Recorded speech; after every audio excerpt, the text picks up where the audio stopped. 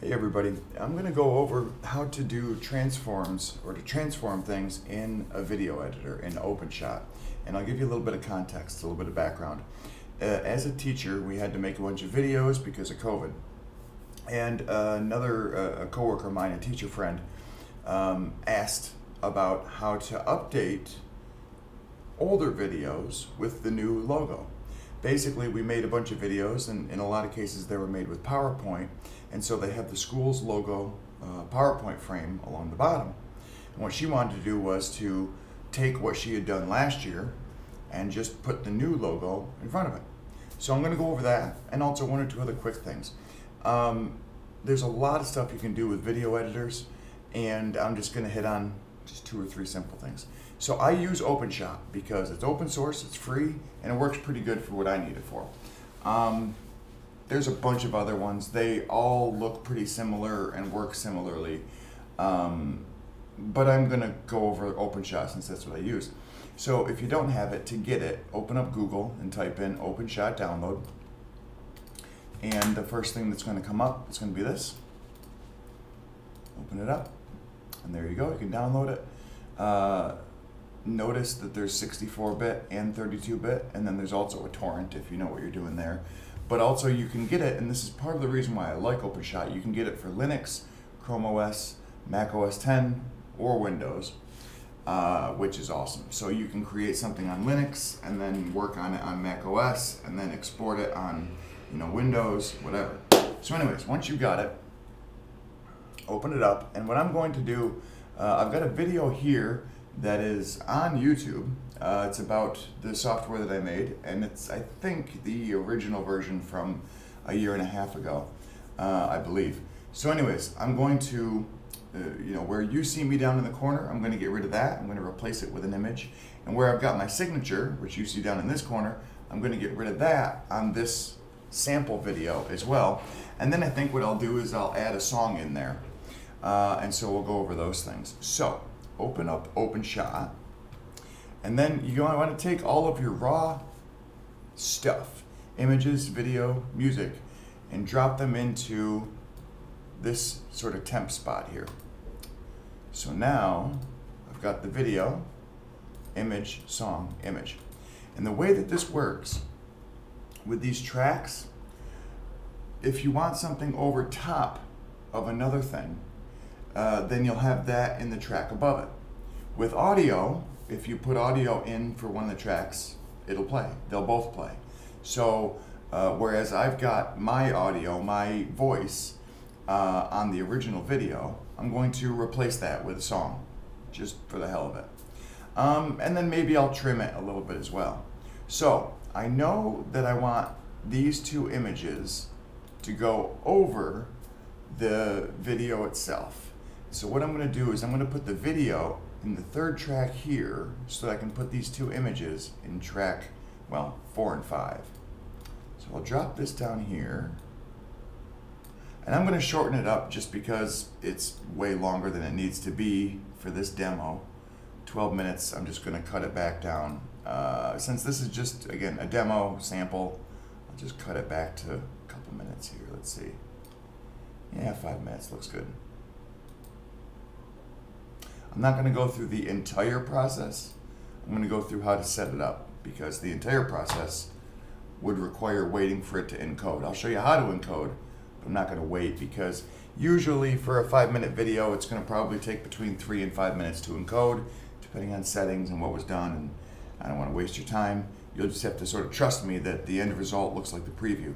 Now, something to note here, the previews in a way kind of suck because they have to buffer and on my computer, at least, my slow computer, um, it, it doesn't end up looking real time. So here's what I mean.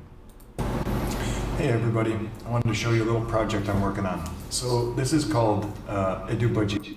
I don't know if you hear those glitches and, and little delays and stuff, but that type of thing is, is what you get with a real-time preview, uh, even with just this simple thing because my computer is so old.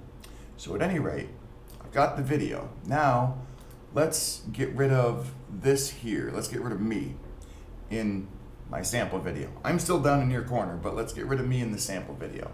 and I'm gonna replace it with this pretty flower looking thing. So the first thing I'm gonna do is set the flowers there.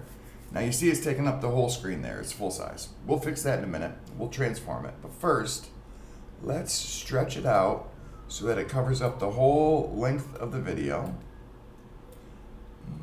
Right about there, I believe. And we can zoom in and, and make sure that it's like perfect. Yeah, you see it's a little bit off.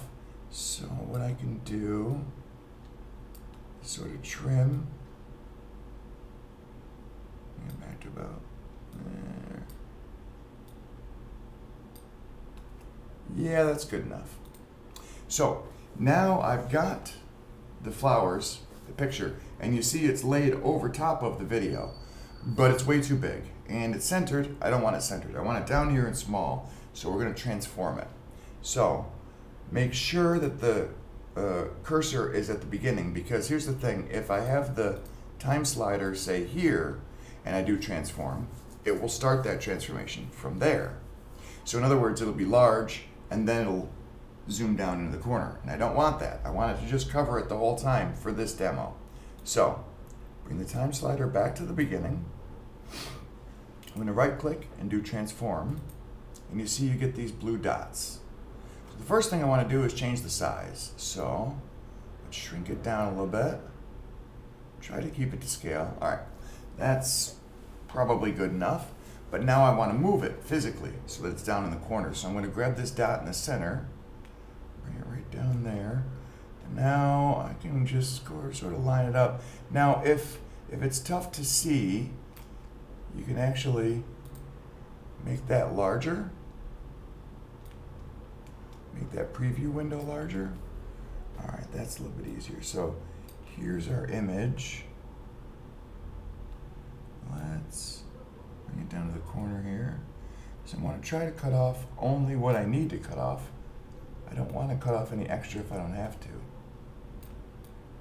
So you kind of got to play with it and make sure that it's, uh, you know, get it to the right size as best you can. That's good enough, I think. All right. So I got one image in there. Now I want to bring this back so I can just sort of do like that, sort of drag it over back to where it was. So I've got the one image in there and I want to add the other image in there. And again, I'm going to cover up my name down here. So let's cover it up with this thing. Again, I want to make this take up the full length of the video. This, by the way, this plus minus is the scale, the time scale. And so you can see that it's um, changing the number of uh, seconds between uh, between these lines here and that allows you to basically zoom in and out but within time. So let me drag that out there. I'm to put the slider here. I'm to zoom in there. And again you can see it's way off. In terms of time. So, let's see, bring the slider over to there. It's still a little bit off, these aren't perfect, but what I would probably do is, uh, when I actually make videos, I would stretch them out a little bit further, and then once the video is completed, take that completed video and just trim off the last second or two with just a simple trim command, even using a different program, even using the regular video editor. Uh, then you get a nice clean break. But at any rate, let me cut this back some. There we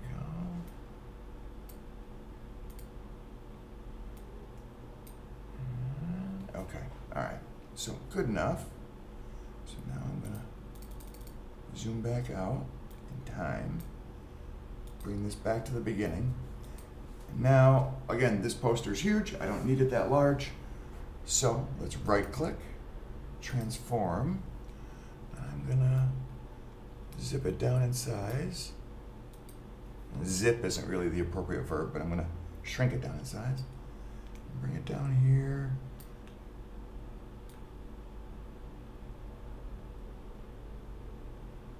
To a size and shape that I don't mind. Unfortunately, you can see that the aspect ratio is not locked. So you got to be a little bit careful with that. But there we are. That's good enough. I'm happy with that. Okay. Bring the preview back. All right. Now, there's a bunch of other stuff I can do. For instance, you can even transform the actual video itself. If I were to right click and transform, I can shrink the video down and maybe put it up in the corner. Shrink another video down, put it over there. I can put one video on top of the other or partially cover it. There's a zillion things you can do. I'm showing you one or two of the simple things, again, because of the context. A teacher friend of mine has a PowerPoint banner at the bottom. It needs to be covered up. These are the same instructions, simply with different raw materials. Now the last thing I want to do, I'm going to add a song. So, here we are. There's that. Now, you can see it's not the same length. So, I may add a second song or I may just add it again. Let's do that. Let's add it a second time. And then I'll shrink that second one. Cut it back down. Uh, actually, here, we'll do it this way.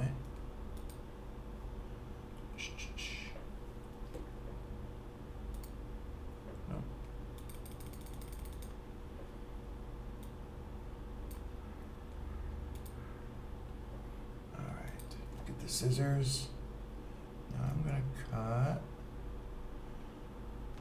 I'll bring this back some. I'm gonna cut this right about there.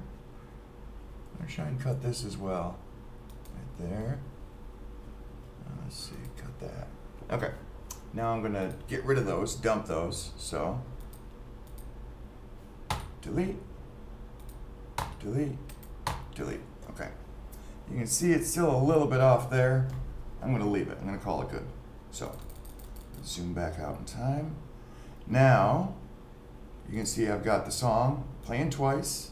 It's a Mo Horizon song, which I, I may play for like half a second, um, just so that you can hear it. But now I've got the song and my audio going at the same time. So let's look at the preview. And again, the preview is going to be even more jumpy simply because now I got more stuff in here. It's more intensive um, on the CPU, the memory, the GPU, so on. But let's try and do a quick preview, see how it looks and sounds.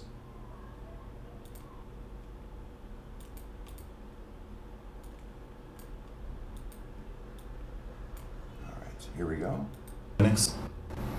Hey everybody, I wanted to show you a little project I'm working on. So this is called, uh, So you hear me and you hear the song. I want to get rid of me. I don't want to hear me. I don't want to see me. I'm terrible. So let's try this here. I can click on the video. And again, I'm going to bring this back to the beginning. I'm going to right click. I'm going to do volume, entire clip, 0%. No volume. The songs are going to play at their normal volume. Now, what I could do, I could have, for instance, my voice at 100% and the audio uh, of the song at, say, 60%. And then it becomes background music. But I don't want to hear myself, I want just the song. So let's have another look. Let's see.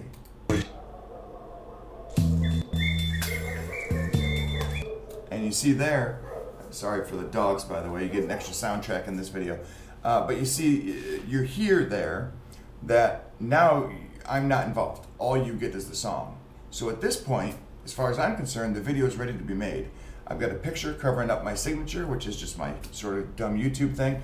I got some pretty flowers covering up my ugly face uh, because you know I like to make videos this way. But let's say I want to get rid of it because, you know, for whatever reason, whoever I'm sending this to or whatever purpose uh, it has, I, I can't use that. And now I've added a song to it. So now I would just export it. So click the red button, choose your settings, which uh, the original video here would have been in 1080p, 30 frames per second, I believe, but let's double check. Where is it? Right here. You can do properties, details, 1920 by 1080, 30 frames per second. Okay, so why don't we stick with that? It's set at 720-30, but I can go to 1080p 30, browse, desktop, select folder,